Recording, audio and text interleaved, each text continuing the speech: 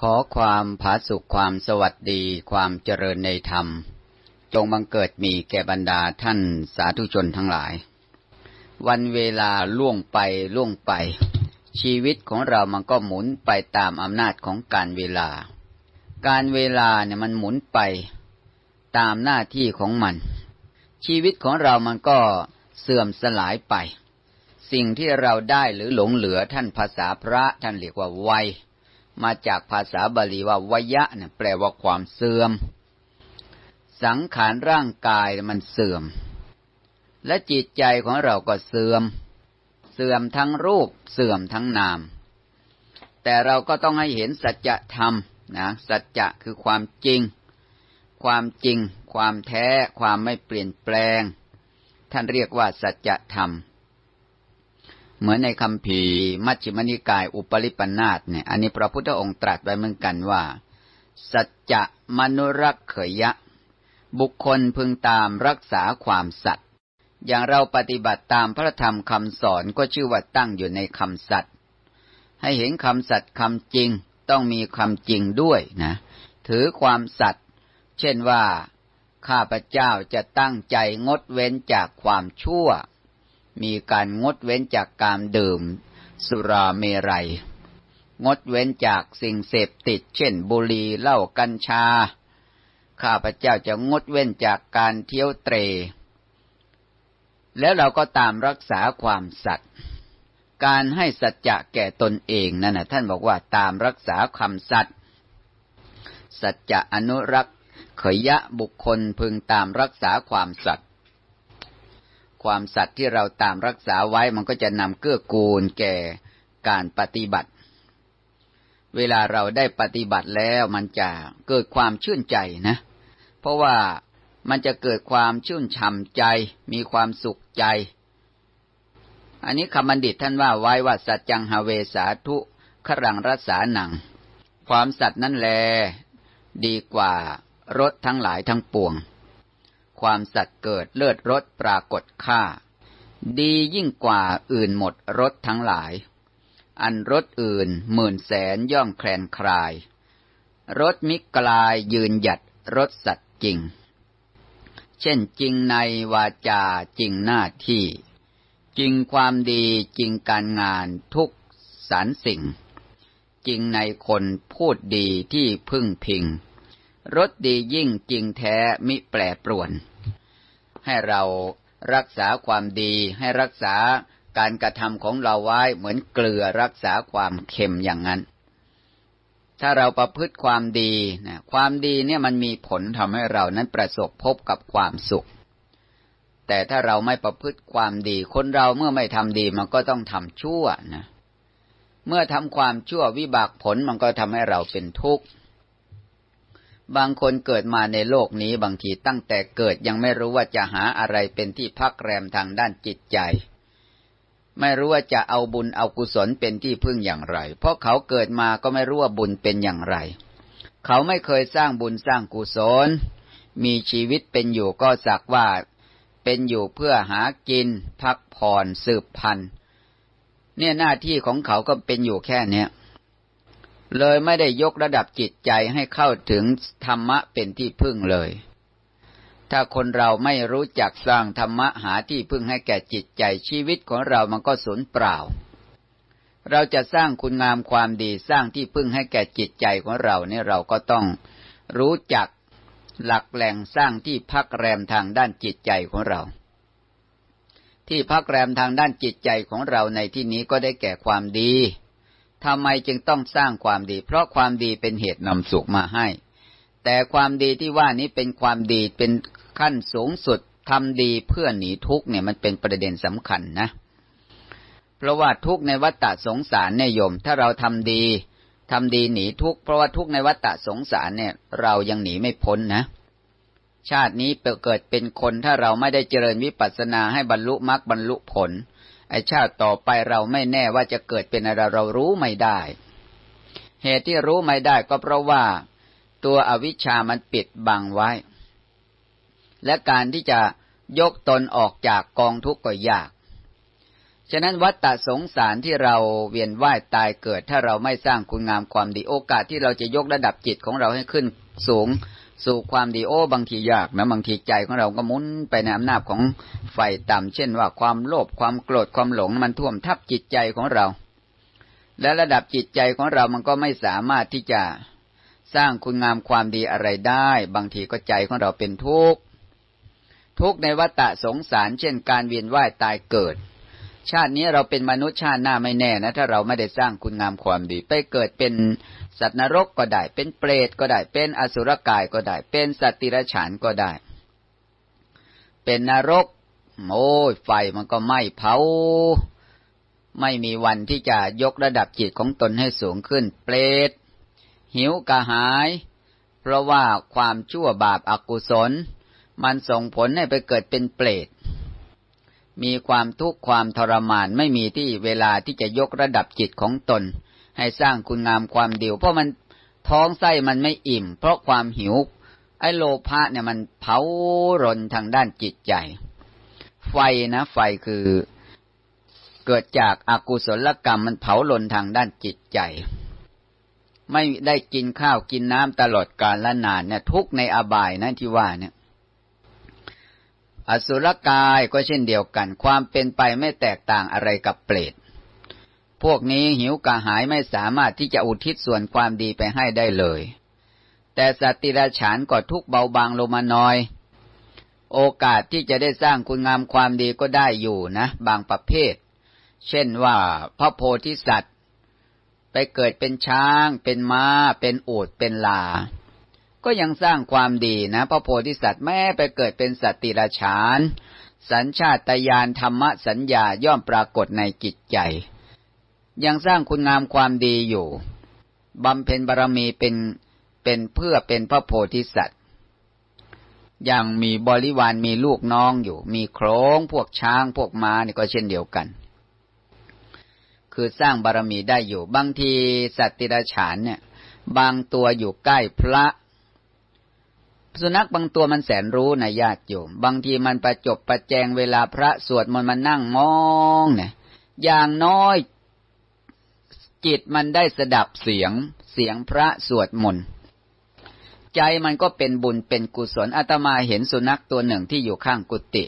พอตีละครังเป้งเนี่ย สุนัขตัวนี้มันจะไปนั่งรออยู่ที่โบสถ์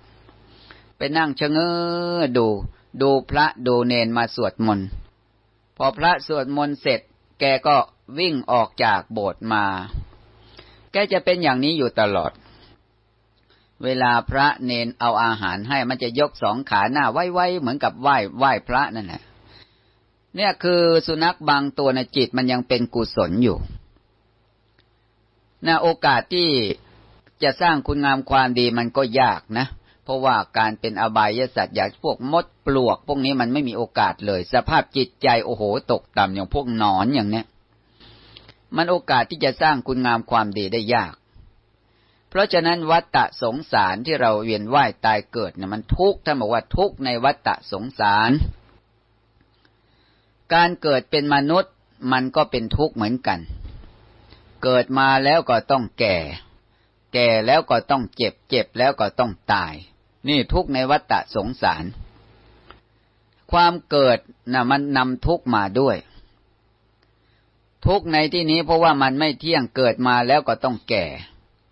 ความแก่นะั้นมันเป็นทุกในสังสารวัฏเราจะหลีกหนีพ้นไม่ได้หรอกนะ ความแก่ เกิดมาแล้วก็ต้องแก่ ไอ้ความแก่มันก็อจิลังยั่งไม่ยั่งยืนทั้งนั้น ตามันก็พลาฟาง หูมันก็อื้อตึง ทางกายมันก็สุดโทมแก่คร่ำคร่าไปตามการเวลา จะลุกจะเดินจะเหินจะย่างไปที่ไหนโอ้มันลำบากในญาติโยมเรื่องสังขารร่างกายของคนเรา เวลาประสบพบกับความทุกข์เนี่ยเราจะเห็นเห็นสังขารว่ามันมีโทษเลยล่ะ จะลุกจะยืนจะเดินจะนั่งจะนอนต้องประคองกันลุกประคองกันนั่งในขนาดหนัก นี่ความแก่ เนี่ยมันมันเป็นทุกข์อย่างนี้ บางคนแก่ชนิดที่เรียกว่าถ่ายอุจจาระปัสสาวะช่วยตัวเองไม่ได้นะโหโยมเอ้ยถ้าเรามามองมองดูแล้วเนี่ย ทุกในวัฏสงสารในขันที่เราบริหารอยู่นี้มันก็พอทำเราอยู่นะ ทุกหนักนะทุกในการบริหารขัน แล้วก็คนอื่นป่วยไข้ต้องหาของอยู่ของกินมาให้อีก นี่มันมากมาย ทุกในการบริหารขัน แล้วก็ในที่สุดก็ต้องถึงแก่ความตาย พระก็ตายโยมก็ตาย ความวิบัติพัดพลากมันก็เป็นเหตุนำทุกข์มาให้ ถ้าเป็นญาติของเราเราก็ทุกข์รักกันมาก เราก็ทุกข์มากแฟนตายก็ทุกข์ถ้าเราเอาจิตไปเกาะไปวางไว้กับเขาหมดหัวใจ เวลาเขาตายไป เราก็ทุกข์หมดหัวใจเหมือนกัน ถ้าเราเอาใจไปไว้กับลูก ถ้าลูกตาย มันก็ทุกข์สุดหัวใจเหมือนกัน แต่ถ้าเราเราไม่รู้จักธรรมะในญาติโยม มันจะประสบทุกข์หนัก หาทางออกจากทุกข์ได้ยาก การวิบัติพัดพลากนะจริง ๆแล้ว มันเกิดจากการที่เราไม่เข้าใจ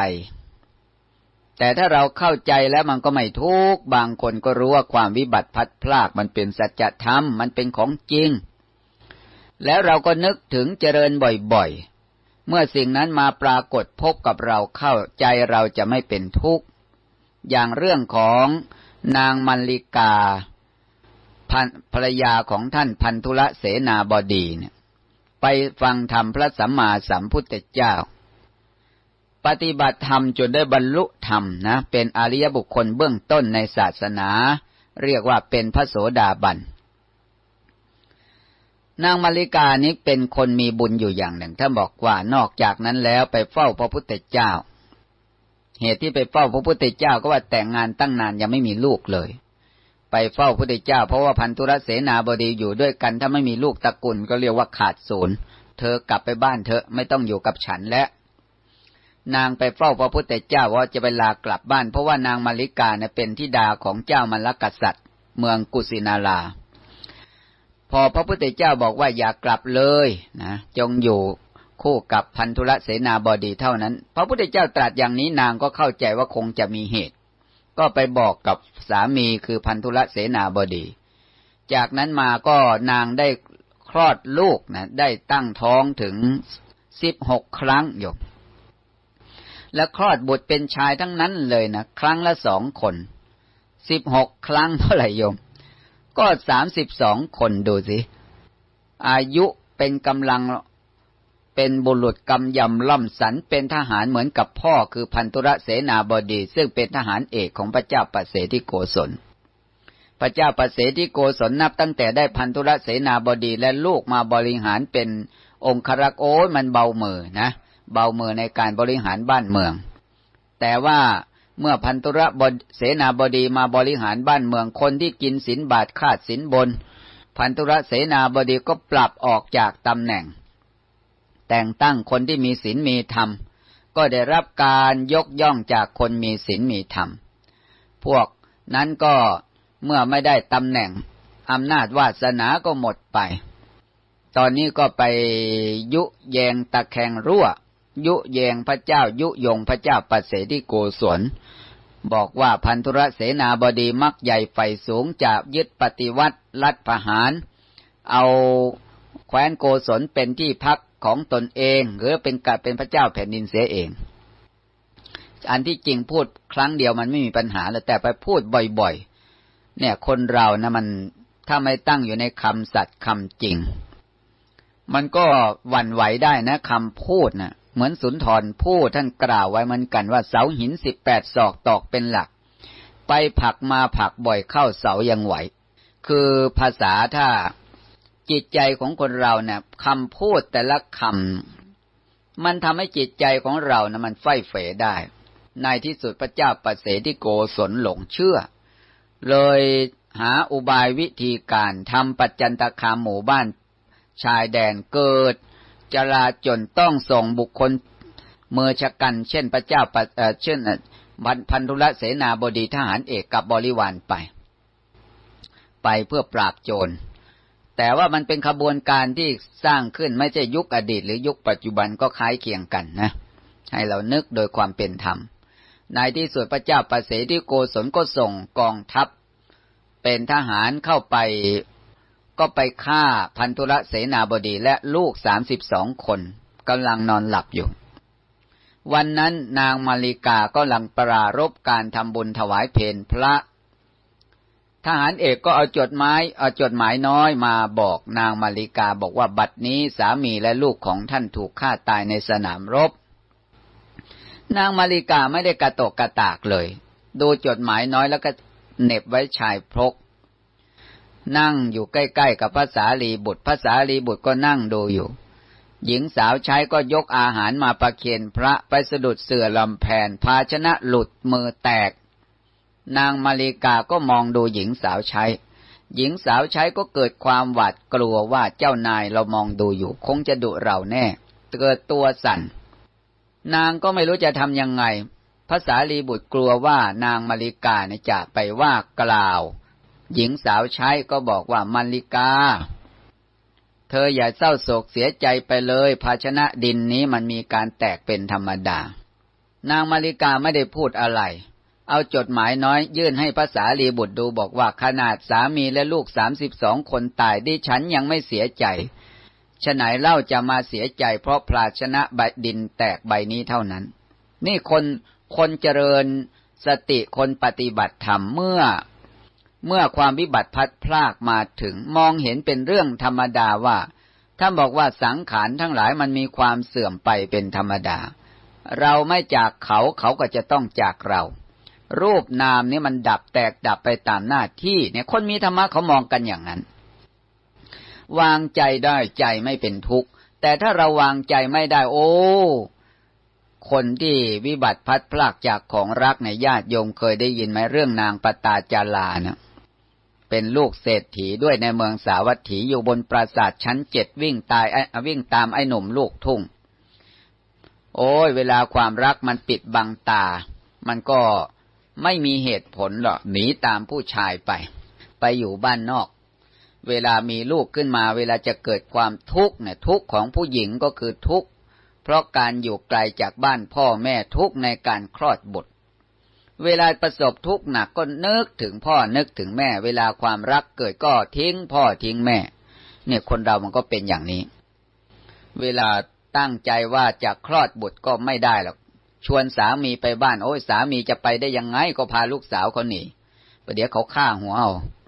สามีก็ไม่กล้าในที่สุด นางปตาจลาก็ออกจากบ้านหนีมาถึงกลางทางก็คลอดบุตรในระหว่างทาง ครั้งแรกก็ผ่านไปครั้งที่สองก็ไม่ละ ความเพียรก็กำลังจะไปบ้านพ่อบ้านแม่เพราะสามีไม่ยอมไปเนี่ยพ่อแม่ก็คือพ่อคือแม่คงจะไม่ฆ่าตีแล้วมั้งในที่สุดครั้งที่สองมาถึงระหว่างทาง เกิดฝนตกหนัก สามีตามมาทันก็เลยไปหาใบไม้เพื่อจะมามุงบังหลังคาก็ไปหักไม้บนจอมปลวกเหงื่อใครมันไหลเข้าไปในจอมปลวกน้ำ ไอกลิ่นมนุษย์มันเข้าไปทำให้งูเห่ามันโกรธมันเลื้อยออกมา มันเลยขบกัดสามีของนางตายบนจอมปลวก นางก็คลอดบุตรในเวลาเที่ยงคืน โอ้ยทุกข์หนัก พอถึงตอนเช้าก็มาเดินหาสามี มาเห็นนอนตายอยู่บนจอมปลวก โอ้ยนางทุกข์หนัก สามีตายเพราะความวิบัติพลัดพรากก็เหลือลูก ลูกคนโตก็เพิ่งเกิดได้ปีกว่า ลูกคนเล็กก็เพิ่งเกิด ตัวแดงๆเท่าแขนนี่แหละ เดินทางจนถึงฝั่งแม่น้ำอจิราวดี เมืองสาวัตถี นางก็เอาลูกคนโตข้ามไปก่อน เอาลูกคนเล็กเพิ่งเกิดวันนั้นเอาฝังวางไว้ฝั่งนี้ เมื่อเอาลูกคนโตไปวางไว้ฝั่งโน้นก็ไม่ได้คิดเอาเชือกมัดขาไว้นะ นางก็เดินข้ามกระจะมาเอาลูกคนเล็ก ตัวแดงๆเยี่ยวตัวหนึ่งมันบินอยู่บนท้องฟ้าได้เห็น เด็กมันเดินดิ้นกระเดวกระเดวอยู่ที่ฝั่งน้ำนึกว่าเป็นก้อนเนื้อ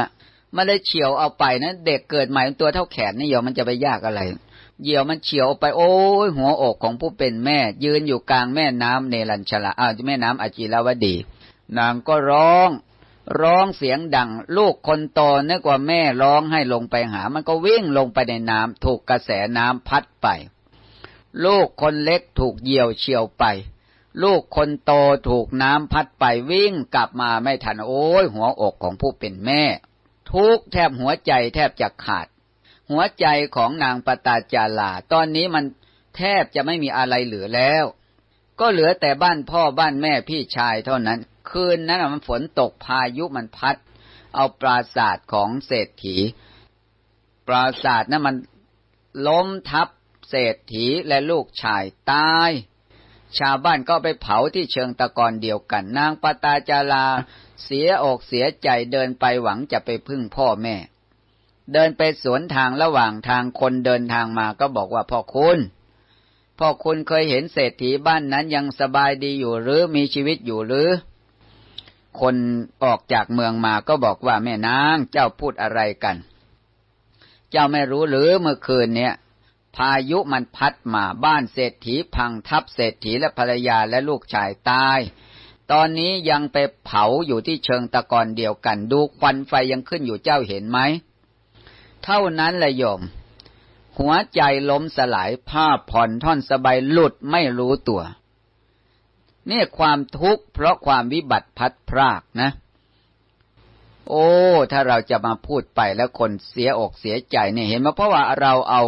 เอาจิตไปผูกไว้กับสิ่งใดมาก เวลาสิ่งนั้นมาวิบัติพัดพลากเราก็ทุกข์หมดหัวใจทีเดียว นางก็เดินไปไม่มีผ้านุ่ง ไปที่ไหนขอก้อนดินคว้างปลาเพราะเป็นเป็นผู้ใหญ่ไม่มีผ้านุ่งยงก็นึกสภาพกันทีข้างบนก็ดีข้างล่างก็ดี พวกเด็กๆผู้ใหญ่ไปป้าหญิงบ้ามาแล้วจงไป คือนางน่ะไม่มีสติเลย เขาเรียกว่าคนไม่มีสติก็คือคนบ้า แต่ว่านางได้สร้างบารมีมาบริบูรณ์แล้วนางปตาจาราเนี่ย ดูที่เวกรรมมันซัดทอด เวลาวิบัติพัดพลากลูกก็ตายแฟนก็ตายพ่อก็ตายแม่ก็ตายพี่ชายก็ตายโอ้โอ้ความทุกข์ในโยม เอ้ย ถ้าเกิดว่าเราอยู่ในสภาพอย่างนั้นเราจะวางใจอย่างไรนะ เราเอาอกท่านมาเปรียบเทียบกับอกเรา ใจเขามาใส่ใจเรา ทุกข์หนัก แต่ว่านางปตาจาราเนี่ยเป็นผู้มีบารมีอันบริบูรณ์แล้วคือสร้างบารมีมาเต็มที่แล้ว ดูสิคนที่สร้างบารมีปรารถนาเพื่อความพ้นทุกข์ยังมาต้องมาประสบพบกับความวิบัติอันยิ่งใหญ่หลวงอย่างนี้ นางก็เดินทางไปถึงวัดพระเชตวัน คนทั้งหลายก็ไล่นางหนี วันนั้นพระพุทธเจ้ากำลังแสดงธรรมอยู่ คนทั้งหลายก็ไล่นางหนีเพราะนางไม่มีเสื้อผ้าอายเขาใช่ไหมญาติโยม พระพุทธเจ้าบอกว่าอ่าอย่าไล่นางเลยนางจะมาสู่สำนักของเรา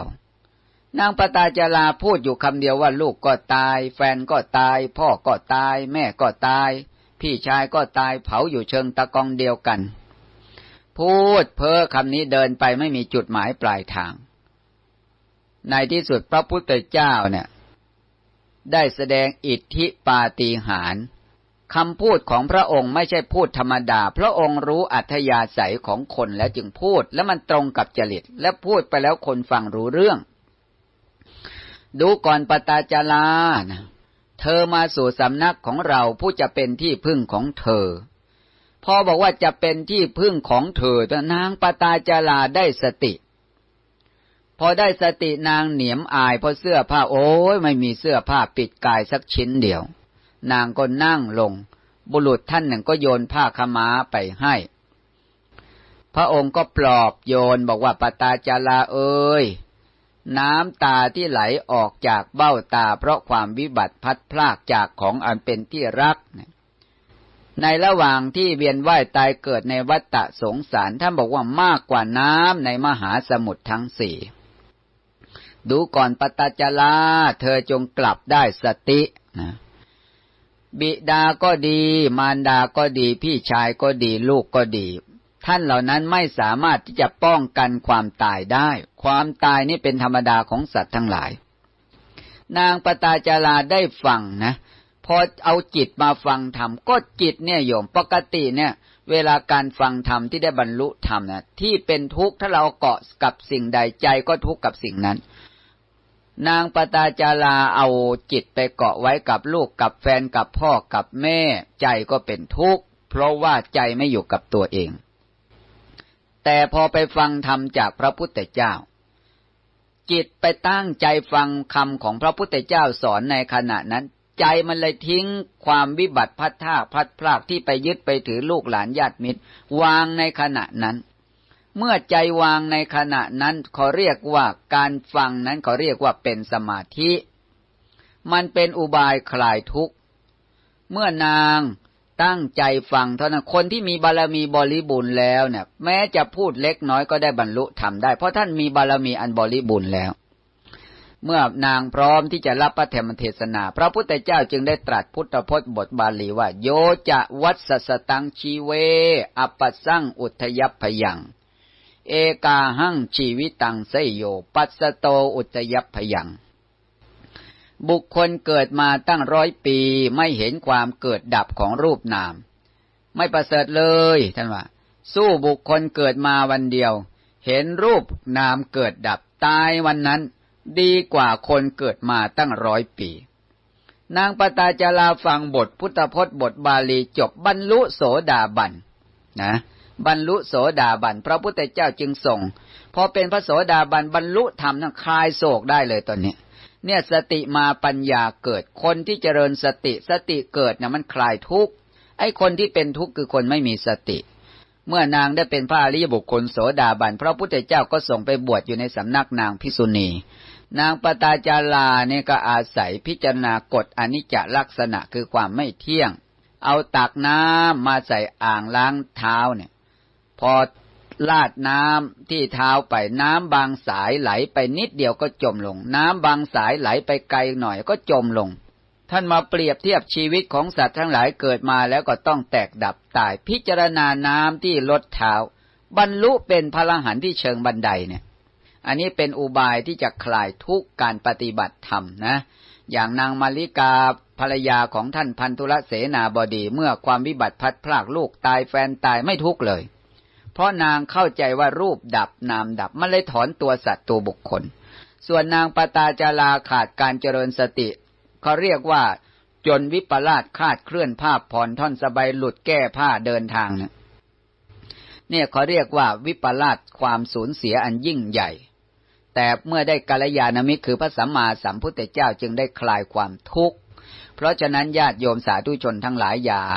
ปล่อยปะละทิ้งเวลาไปนะ ก่อนหลับก่อนนอนไหว้พระสวดมนต์ตื่นนอนนั่งสมาธิทำมุญตักบาตรไหว้พระสวดมนต์อย่า อย่าไปรอการรอเวลาบเดี๋ยวเข้าพรรษาออกพรรษาก่อนอย่าไปคิดนะ อย่าไปคิดถ้าไปคิดอย่างนี้บเดี๋ยวตายก่อนไม่ได้ปฏิบัติธรรมกันอีก ขอความผาสุขความสวัสดีความเจริญในธรรม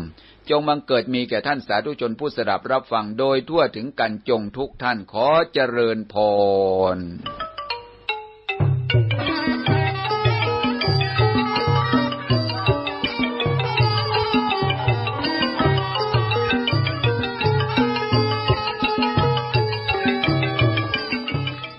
จบลงนี้เป็นการแสดงปาฐกถาธรรมเรื่อง